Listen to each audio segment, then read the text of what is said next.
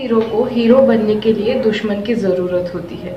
और कुछ ऐसा ही हुआ है इस मूवी में। नमस्कार दोस्तों, मैं आपके होस्ट और दोस्त नुपुर, आपका लय भारी वाला स्वागत करती हूँ हमारे लय भारी चैनल पे।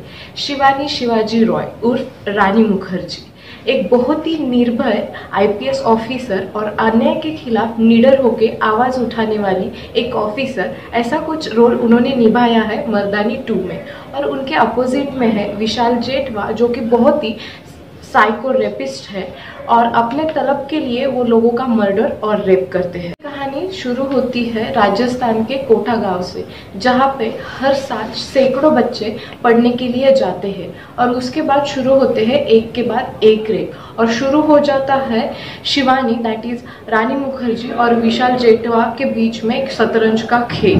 शिवानीज ऑनेस्टी उनका एज यूजल ट्रांसफ़र हो जाता है। लेकिन शिवानी हार न मानते हुए दो दिन में उस रेपिस्ट को ढूंढ लेती है और उसका बहुत ही बुरी तरह से हाल करती है। जो उन्होंने हाल किया और ढूंढा है, वो देखने लायक है। ये कहानी काल्पनिक कहानी नहीं है, बल्कि हमारे देश की एक सच्चाई है। इस मूवी में रानी मुखर्जी लीड रोल के भूमिका में है, लेकिन मूवी को चार चाँद लगे हैं बिकॉज़ ऑफ़ विशाल जेठवा की साइको वाली एक्टिंग उन्होंने बहुत ही अच्छी तरीके से वो साइको वाला रोल किया है। ये मूवी मस्ट वॉच है बिकॉज़ ये मूवी ने पेरेंट्स के लिए एज एज वेल एज लड़कियों के लिए, महिलाओं के लिए बहुत ही अच्छा मैसेज दिया है। पेरेंट्स के लिए ये मैसेज है कि उनके चाइल्ड का अपब्रिंगिंग अच्छा होना बहुत ज़रूरी है, क्योंकि वो उन, उसका इम्पैक्ट आगे जाके उनके लाइफ पे ज़रूर होता है। और लड़कियों के लिए ये मैसेज है कि आप किस तरह से किसी के ट्रैप में फंस सकते हैं और कौन सी सावधानियाँ अपने को बरतनी है। ऐसे दोनों भी मैसेज बहुत ही अच्छी तरीके से मूवी में दिखाई गई है। ये मूवी ने रेप जैसे टॉपिक को ऊपर लाने की कोशिश, बल्कि उसके साथ हमारे देश में जब कोई महिला आगे बढ़ती है तो उसकी लेग पुलिंग कैसे होती है और उसके बाद उसके ऊपर कोई ज़्यादा अन्याय हो जाए तो वो कैसे काली का रूप लेती है, ये बहुत ही अच्छा दर्शाया गया है।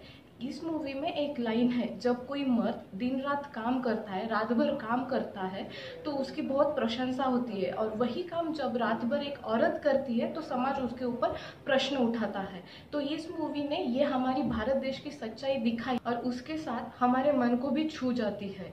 ऐसे प्रकार की मूवी हमारे सामने बहुत कम बार आती है। तो इस मूवी को जाके देखें और ऐसी मूवी को ज़रूर सपोर्ट करना और इस मूवी से सीखना और इंस्पायर भी होना। चैनल ने दिए इस मूवी को 4.5 स्टार और आपने हमारे चैनल को अभी तक सब्सक्राइब नहीं किया है तो ज़रूर करना बिकॉज़ इट्स टोटली फ्री और आप हमें ये भी बता सकते हैं, आपको ये मूवी कैसा लगा?